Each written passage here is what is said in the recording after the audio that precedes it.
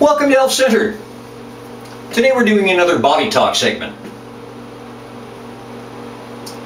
Before we start, a little admission.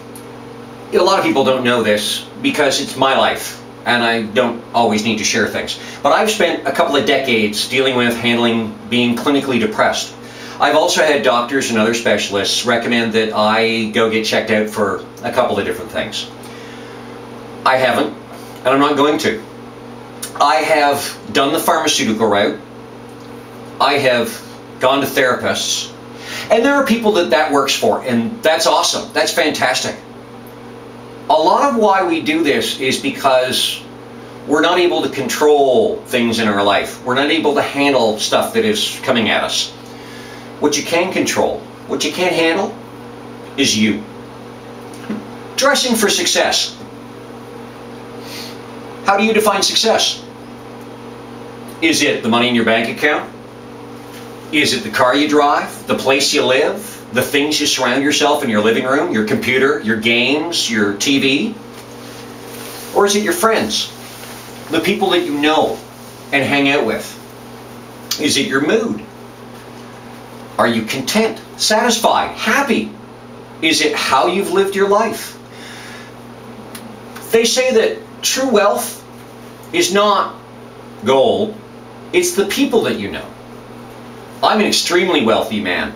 I have a large number of fantastic, awesome friends, intelligent, fun people, and they call me their friend. You've likely heard, dress for the job you want, not the job you have. Why not dress for the mood you want, not the mood you have? Is it difficult to change? Yes. But you learn a few things, it can become quite simple. Change involves generally three things. First of all, the desire to change, to know what you want to change. Secondly, a goal. I want to, you know. The third thing is the willpower. Change is as difficult as kicking addictive behavior like quitting smoking or gambling or drinking. And mood can be addictive behavior. You put yourself in a box. You know what? I'm not content. I'm not happy today because I'm always not happy. Things are happening I can't control and this upsets me. Pampering yourself, and dressing is part of this, is focusing on you it's putting your energy, your time, your attention into yourself.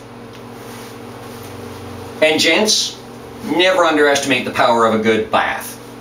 Bubbles are optional. I tend to like to lounge for a half hour to an hour with a good book. Play the music you like.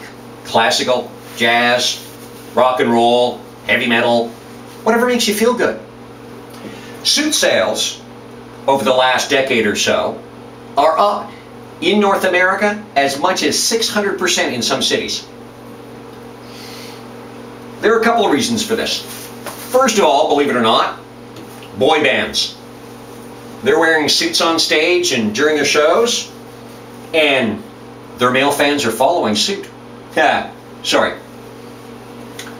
It's a way of rebelling against the slack parents who worked at home and so dressed in old jeans, a sweatshirt, and flip-flops. Or working in a call center or a place that doesn't have a dress code where who cares what you look like? And that's the thing, who cares? If they don't care, how can you care? We used to dress up for work. A lot of places still do. We used to dress up for parties and get-togethers, picnics, going out. We dressed up for travel, to get on a plane or a train. We used to dress up for shows. I went to see John Malkovich in Toronto, invited by a young lady a number of years ago. And I did the, I dressed up. Top hat, tie, tailcoat, walking stick. During intermission, we went outside for a cigarette and I was approached not once, but quite a number of times by people of various ages, singly and in small groups, to thank me for dressing up. You see, if you look good, not only do you feel good, but others feel good, and they approach you with a different attitude, a, a, a different perception. Response for others, and some of it is uh, socially programmed, some of it is just out of the enjoyment. They offer more respect and politeness because of what they see. It also works for the ladies. It's not gender-based at all. I know a number of young ladies who could really rock a suit, particularly a dark pinstripe three-piece with a fedora. If you haven't seen the TV show, you've probably seen a number of the memes. Yeah, it's got to do with bro culture, which I do not support in any way, shape, or form. But they got something right. Suit up. You'll present better. You'll be responded to better. You'll feel better. Pamper yourself. Make yourself look amazing, according to what you think is amazing. Go out there and have fun. Have an adventurous day.